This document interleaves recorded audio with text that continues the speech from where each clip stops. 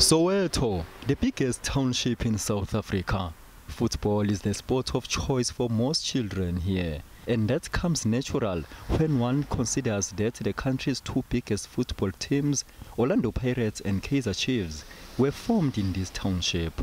But in Tladi section, there is an 18-year-old cycling prodigy, Aphiwe Nkomo. The first time, I think I was amazed by the fact that when I was riding, people outside used to say, Ha, she's a girl. And that for me really affected me. I thought, why? Why would they be amazed by a girl on a bike and not just say, oh, they're a team or you're Banin, you know? After that, I got nice comments when people used to say, what you're doing is good or you're doing great, keep it up. Uh, I want to be just like you. Those were one of the beautiful things I heard. The young star is learning along the way as her star keeps on shining. In my first team, we were taught a lot.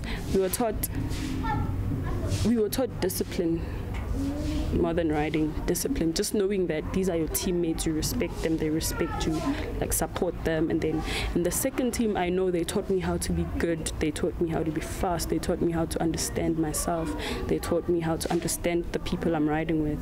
And then the third team they taught me patience because it came at a very immaculate time. So they taught me how to be very patient and they told me that everything is going to come when it does come. So I was very, very proud of that. Nkomo was introduced to cycling when she turned 13. She has participated in a number of events and won some accolades in the junior categories. Winning the 2019 Gauteng Championships made her believe that she could go all the way and reach for the stars. My biggest win was E Gauteng Champ 2019.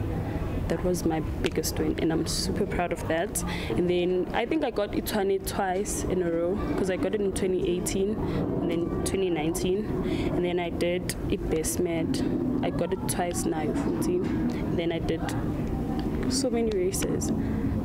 Her parents have been supportive. Her first bicycle was when she was turning one year. That was bought by her late father. Then the second one, I bought it when she was, I think, 10 years. And then uh, after that, at least she joined a club whereby I was not have to buy any bicycle anymore. Nkomo wants to see more women taking up cycling. She draws her inspiration from the likes of Ashleigh Moolman-Pasio, the reigning SA National Road Championships title holder. But she also credits her team for her success. I think I got all these inspirations in the team I'm riding with, the FXTM. FXTM fellow right? So mangibheka ukuthi now i have the opportunity ukuthi ngiyithole lento engiyifunayo. And if i have people besides me like them i know for sure ukuthi i can do it.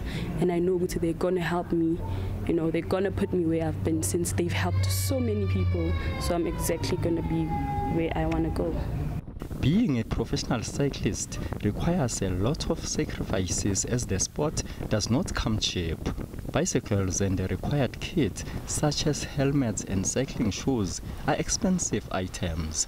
However, if one has a support system, there's nothing to worry about except competing. When she joins ECC, it was very simple for me because Mr. Dlamini was doing everything for her.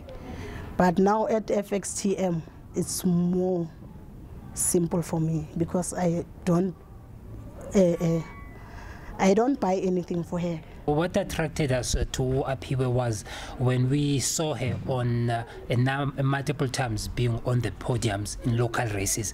So we asked around and we introduced to Aphiwe, who at the time was 17 years old, and we thought Uguti Aphiwe would be the right fit for the FXTM, the local cycling team, because with the resources that we have, we felt Uguti she could use those, but also motivate a, a lot of youngsters, a lot of girl child from the townships that we are working with to show Uguti, well, here is someone with similar backgrounds coming from Soweto and displaying the qualities that can take one far. Members of previously marginalized communities are slowly but surely getting involved in cycling. And the 18-year-old Nkomo is now gearing up for next month's National Road Championships to be held in Swellendam in the Western Cape. Ndlovu for SABC News in Soweto.